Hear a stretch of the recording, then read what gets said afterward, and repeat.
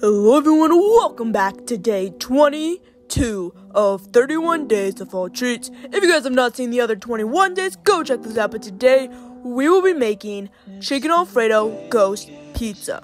If you guys are enjoying the series, please consider subscribing, like this video, and enjoy!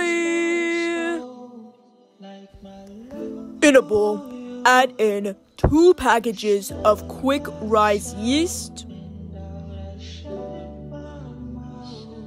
Then add in 2 cups of all-purpose flour and 3 teaspoons of sugar, 1.5 teaspoons of salt, and mix that together. Next up, we're going to add in a fourth of a teaspoon of garlic powder and a fourth of a teaspoon of basil.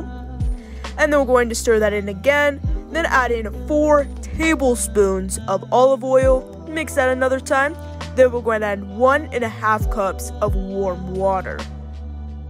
Once that's done, we're going to continue adding in flour a third of a cup at a time so that we can get the dough to form a ball and so it'd be easier to knead later on. And so you don't want it to be too sticky, but you also don't want it to be too dry, so just add a little bit of flour at a time.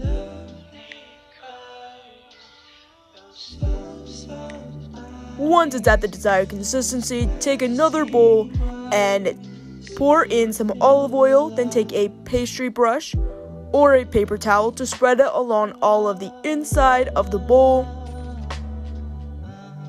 Then we are going to bring back our dough, place it in the bowl, and roll around the ball of dough around the, in the olive oil so that we can have a nice layer on top of it.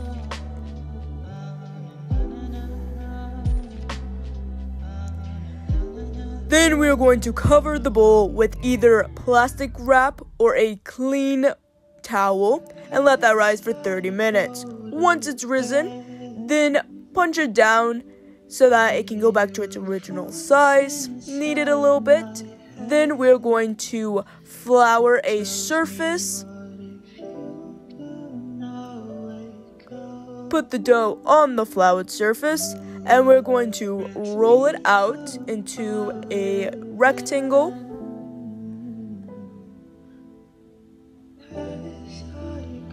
Make sure that you put flour on your hands and on the rolling pin and on the dough so that it does not stick.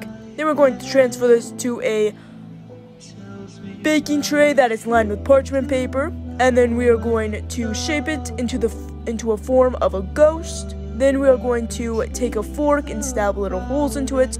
Let that bake for about 5 minutes. Next we are going to take some alfredo sauce and pour it on as the base.